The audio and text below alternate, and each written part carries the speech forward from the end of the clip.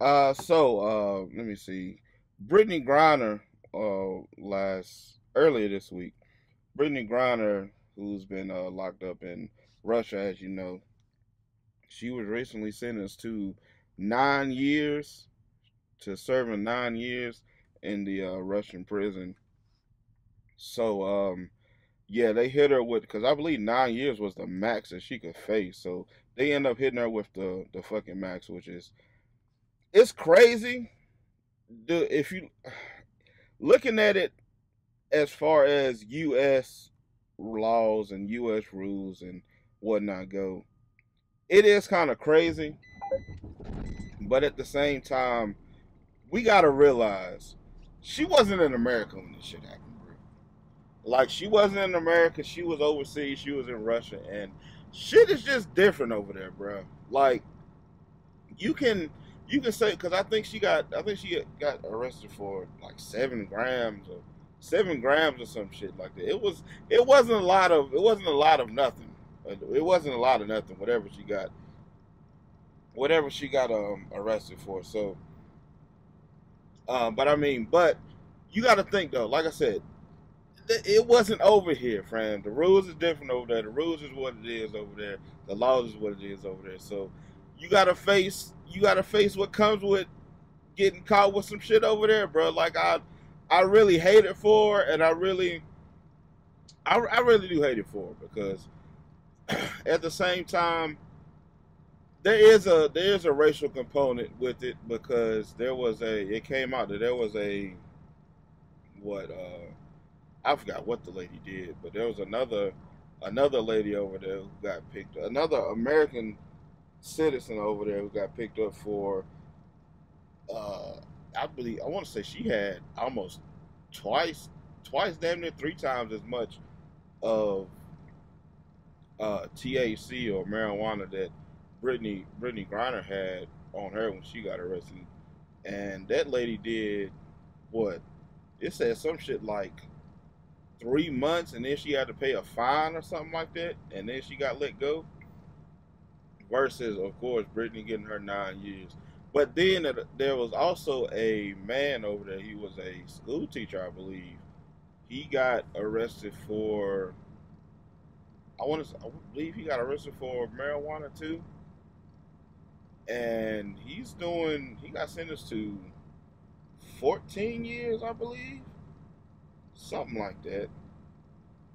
But anyway, going back to uh, the other the other lady that got arrested for the for whatever the fuck she had, she um she got arrested in I want to say it was 2018 versus Brittany Griner getting arrested uh, earlier this year.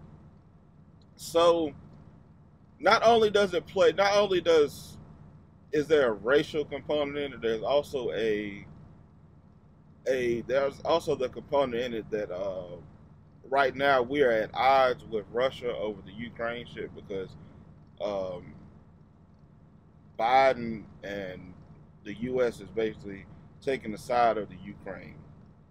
So they kind of, I feel like they kind of holding that against her. On top of she's black, on top of she has some sort of notoriety, on top of just whatever the fuck that they whatever the fuck else they can throw on top of it. So they I feel like they're just trying to make an example out of her. Really more so as an American citizen, more than anything, like I said, but just due to the uh, the tension that's going on with uh, Russia and America right now over the Ukraine, over the shit that's happening in Ukraine. So, I mean, like I said, it's fucked up that uh, she has to go through what she's going through, and the shit, some shit that I really hate about it it's uh it's been a it's of course motherfuckers are gonna compare some shit to some other shit. So it's been a lot of comparisons as far as um if this was LeBron or if this was Steph Curry or anybody like that, they would be home already. And it's like fam fam number one like I said, you in a different you in a whole different country. You gotta deal with a whole different set of rules. You gotta do a whole different set of punishments and however they want to deal with it is how they want to deal with it. And also, there's a side of the argument to where is, uh, if she was a, if she, she wouldn't be over there if she was in the NBA versus being in the WNBA having to go over there because the WNBA players don't get paid as much money. But my nigga, I hate to be the I hate to be the red pill nigga on this topic because like I said, it is fucked up. And I do wish her the best and I hope she don't have to go through I wish she didn't have to go through whatever the fuck she's going through right now because my nigga, I can't even fucking imagine being overseas away from home and being locked up, bro. That's got to be some of the scariest shit in the fucking world, bro. Especially in fucking Russia, my nigga.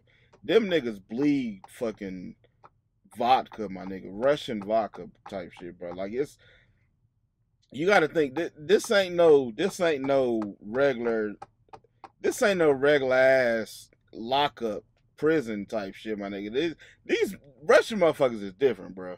But anyways, uh, back to back to my back to the point I was making.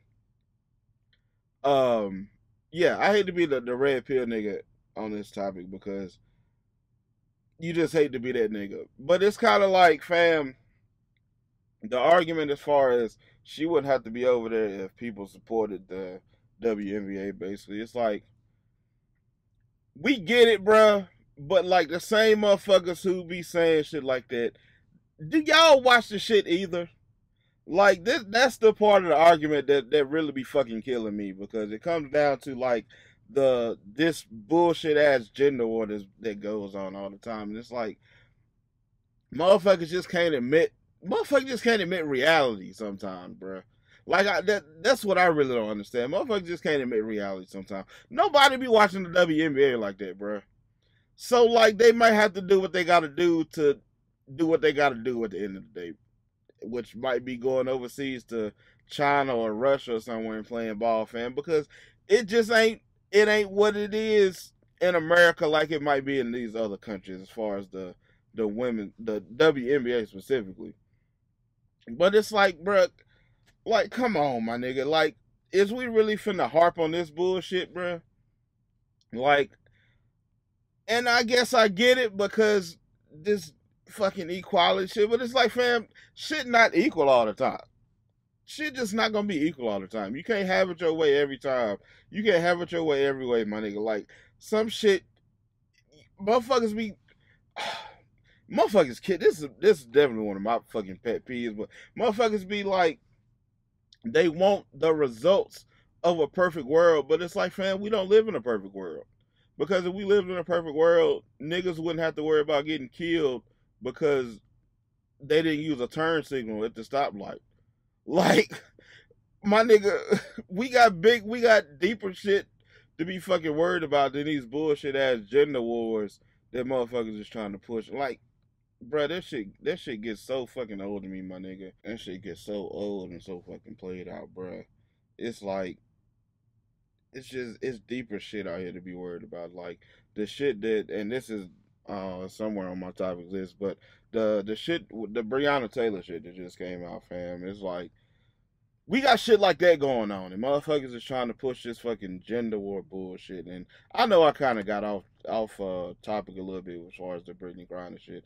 Again, uh, I think it's terrible. I hate that she's going through what she's going through, but at the end of the day, my nigga, it's kind of like, what what what can you do, bro? Like, what can you do? Because I mean, just what can you do? Like you went over there, and I believe she pled guilty, so it's like you knew that the shit was illegal, and you still went over there with it. Like I don't know, maybe you thought you couldn't be touched or something. So it's like, fam, I I hate it for you, but at the same time, bro, if you knew, then you fucking knew. And what the fuck do you want me to do, dog? But then they talking about uh trading trading her for trading her for um uh the it's a Russian arms dealer. This nigga's name is this nigga got a name that's out of a goddamn comic or super villain comic book type name. This nigga was like the the the merchant of death or some shit, bro. It's like, fam, we finna trade a fucking basketball player. Fuck who she is. Fuck, like, fuck specifically who she is. We finna trade a mo- we finna trade a motherfucker for a motherfucker to dribble a basketball for the merchant of fucking death, bruh. Really? That's what the fuck we doing, bruh? And she went over there knowing that this shit was illegal, and you want us to trade the fucking merchant of death back to Russia for your basketball dribbling ass? My nigga, no comment. no comment, my nigga. This that's fam. Who the fuck is making that goddamn decision, my nigga? That is fucking insane. The merchant of fucking death for a fucking basketball player, dog. Anyways, I'm finna move the fuck on.